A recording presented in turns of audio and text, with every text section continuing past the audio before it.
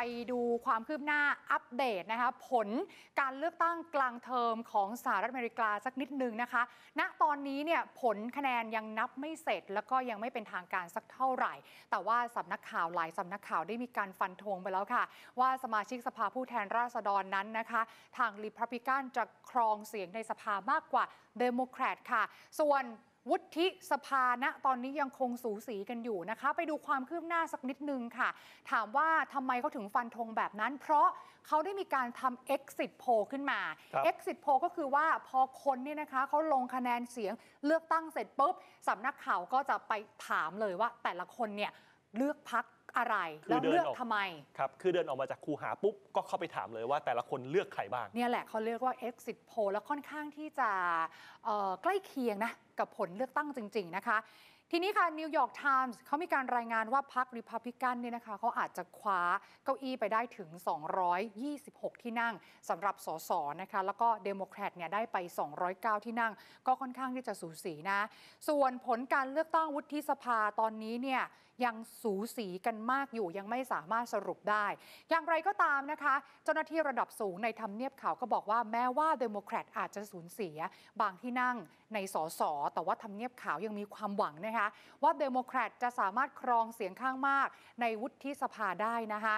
โฆษกทำเนียบขาวบอกว่าผลการเลือกตั้งเนี่ยเอาจริง ๆ ยังต้องใช้เวลาอีกหลายวันนะ กว่าจะประกาศได้ครับเพราะว่ากฎหมายควบคุมในการนับคะแนนของแต่ละรัฐ ซึ่งมีกว่า 50 มลรัฐเนี่ยของสหรัฐอเมริกาเนี่ยนะคะไม่เหมือนกันเลย คือบางรัฐเนี่ยยังไม่เริ่มนับคะแนนที่ส่งทางไปรษณีย์ครับหรือว่าบัตรเลือกตั้งที่ลงคะแนนล่วงหน้าเลยนะคะ เพราะฉะนั้นอาจจะต้องใช้เวลาอีกนาน ขอให้ทุกคนเนี่ยอดทนรอผลการนับคะแนนอย่างเป็นทางการ อันนี้โคศก ทำเนียบเขาเขาบอกแบบนั้น แต่ที่ไม่รอแล้วแล้วก็ฟันธงไปแล้วค่ะ ก็คือสื่อมวลชนนี่แหละ หลายสำนักถึงขั้นฟันธงไปเลยนะคะว่าสสเนี่ยรีพับลิกันครองสภาแน่ครับวุฒิสภา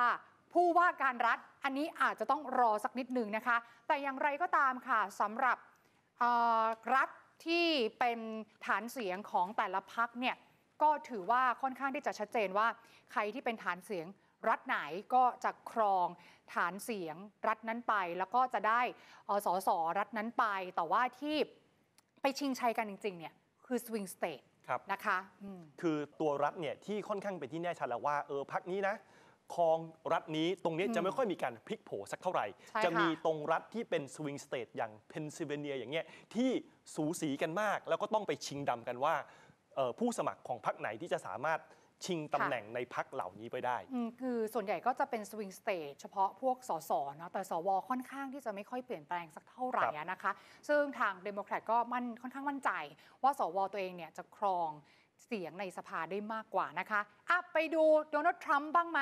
เขาออกมาแสดงความคิดเห็นค่ะ ถึงแนวโน้มเรื่องนี้ที่พรรคริพับลิกันเนี่ยอาจจะสามารถชิงเสียงข้างมากในสภาผู้แทนราษฎร เขาบอกว่าอะไร เขาบอกว่าถ้าหากว่ามันเป็นอย่างนั้นจริง ๆ นะ เขาจะสนับสนุนให้เควินแมคคาร์ธีค่ะ เป็นประธานสภาผู้แทนราษฎรแทนแนนซี่เพโลซีซึ่งมาจากเดโมแครตพูดแบบนั้นเลยนะคะครับซึ่งถ้าหากว่าผลออกมาแบบนี้จริงๆ เนี่ยก็ค่อนข้างที่จะส่งผลเสีย ต่อประธานาธิบดีคนปัจจุบันก็คือโจไบเดนในการผลักดันนโยบายต่างๆนะคะ และอาจจะส่งผลให้รีพับลิกันเนี่ยมาตั้งคณะกรรมการสอบสวนพรรคเดโมแครตบ้าง เพราะว่าก่อนหน้านี้ค่ะ2ปีที่ผ่านมาเดโมแครตเขาพยายามจะสอบสวนเอาผิด กับโดนัลด์ทรัมป์ในเรื่องเหตุจลาจลบุกอาคารรัฐสภาเมื่อวันที่ 6 มกราคมที่ผ่านมาอาทีนี้รีพับลิกันตอบโต้กลับบ้างค่ะ เกี่ยวกับเรื่องนี้บอกว่า ถ้าริพับลิกันเนี่ยครองเสียงในสภามากกว่าเดโมแครตเมื่อไหร่ ซึ่งมันมีความเป็นไปได้เป็นไปได้สูงมากนะครับตอนนี้คะแนนมันออกมาเป็นแบบนั้นนะนะคะ คือ exit poll นะคุณผู้ชม เขาพูดเลยเขาบอกว่าเขาจะยุติการสอบสวนเรื่องบุกรัฐสภา และจะเปิดการสอบสวนความสัมพันธ์ทางธุรกิจระหว่างฮันเตอร์ ลูกชายของไบเดนกับจีน และหากว่าริพับลิกันเนี่ยคุมเสียงมากในวุฒิสภาด้วยเนี่ย ก็จะทำให้การโหวตในสภารับรอง การแต่งตั้งผู้พิพากษา และตำแหน่งสำคัญอื่นๆเนี่ยนะคะ ที่ได้รับการเสนอจากไบเดนเป็นไปได้ยากอีกนะ ทีนี้มาดู Exit p o โพเบื้องต้นกันบ้างนะคะว่าเป็นอย่างไร มีการทำโพขึ้นมาเขาบอกว่าประชาชนคนที่ใช้สิทธิ์เลือกตั้งเนี่ย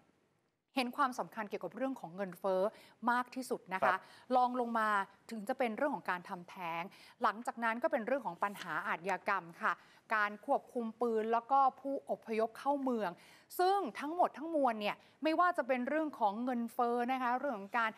ลดปัญหาอาชญากรรม ควบคุมปืน แล้วก็ผู้อพยพเข้าเมืองแบบผิดกฎหมาย นี่เข้าทางริพับลิกันหมดเลยนะครับคือทางที่จะเข้าเดโมแครตเนี่ยมีแค่เรื่องของสิทธิการทำแท้งเท่านั้นนะคะ และนอกจากนี้นะคะ Exit Poll ยังบอกว่า 7 ใน 10 ของผู้ที่มีสิทธิ์ในการลงคะแนนเสียงเลือกตั้งแล้วไปใช้สิทธิ์เนี่ยเขาไม่พอใจ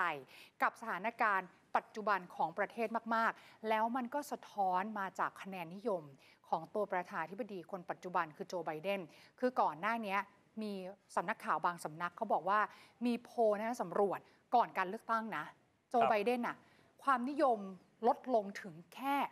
39%เท่านั้น ต่ำกว่า 40%อีใช่กคือตอนแรกอะที่เราอ่านข่าวอะต่ำกว่า 50%ครับก็ถือว่าเยอะแล้ว ตอนนี้เขาบอกว่าต่ำกว่า 40%อีกนะคะ ก็อยู่ประมาณเนี้ยแหละ แต่ก็ถือว่าน้อยมากจริง ๆ ครับ แล้วถ้าหากว่าพูดถึงเรื่องปัญหาปากท้องปัญหาเรื่องเศรษฐกิจที่คุณปริมบอกว่า คนค่ะอเมริกันเขาให้ความสำคัญกับเรื่องนี้มากที่สุดในตอนนี้ ก็เลยให้ความเชื่อมั่นกับพรรคริพับลิกันว่าจะเข้ามาแก้ไขปัญหาเศรษฐกิจใช่ได้ดีกว่าพรรคเดโมแครตเพราะถ้าหากเราย้อนดูตอนที่โดนัลด์ทรัมป์เป็นประธานาธิบดี คือมันจะมีนโยบาย America First ใช่ที่ให้ความสำคัญกับคนอเมริกันเป็นอันดับแรก คือตอนนั้นเนี่ยก็ได้ใจคนอเมริกันค่ะที่มีรายได้น้อย ฐานะยากจนว่าเข้ามาอืมช่วยให้พวกเขามีคุณภาพชีวิตมีงานทำที่ดีขึ้นค่ะ